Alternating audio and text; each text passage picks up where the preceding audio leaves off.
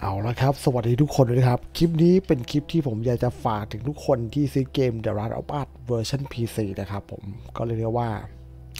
เห็นแล้วปวดใจนะครับ แล้วก็แอบเซ็งนิดหนึ่งนะครับสำหรับหลายๆ คนที่ผมเห็นใน livestream หรือว่าเห็นในการลงคลิปต่างๆนะครับ ต้องบอกอย่างนี้เลยนะ พูดตรงๆเลยนะครับสำหรับคนที่เล่นเล่นและซื้อมาแล้วเล่นไม่ได้นะครับ ปัญหาหลักๆ เลยตอนนี้คือ ทุกคนไม่ยอมโหลด reshade ให้เสร็จ คือทุกคนคิดว่าโหลดเกมเสร็จปุ๊บแล้วเข้าได้เลยนะครับ ครั้งแรกที่เราเข้าเกมครับ มันจะมี reshade โหลดอยู่มุมขวาล่างอะต้องรอโหลดให้เสร็จก่อน แล้วค่อยเข้าเกมครับ มันเป็น preset กราฟิกของตัวเกม ที่ต้องจริงๆอะมันควรจะบังคับให้โหลดเว้ยควรจะต้องโหลดให้เสร็จเลยเว้ยซึ่งอันเนี้ยผมไปเช็คมาแล้วว่า บางคนที่ใช้การ์ดจอ 1070 Ti การ์ดจอเก่าๆ รุ่นซีรีส์1000 นะครับ ก็สามารถเล่นได้แบบ 60 frame rate แบบ 60-70 frame rate โดยที่ไม่ drop ไปเกินกว่านี้เลยนะครับ ซึ่ง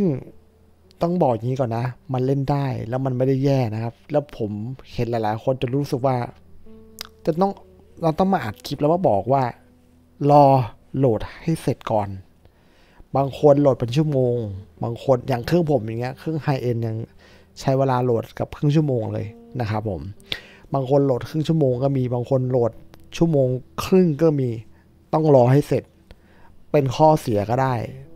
แต่ยังไงก็ถ้าอยากเล่นลื่นๆ ควรจะต้องรอให้เสร็จนะครับ เพราะไม่งั้นแล้ว ตัวเกมจะมีปัญหา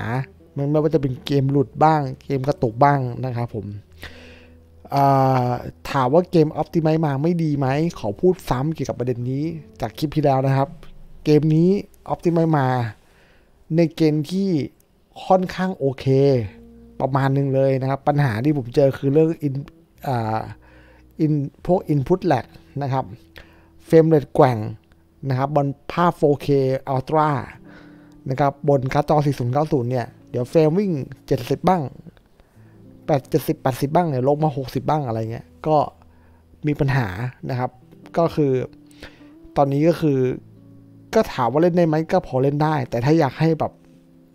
เกมลื่นๆก็ต้องปรับลงมา high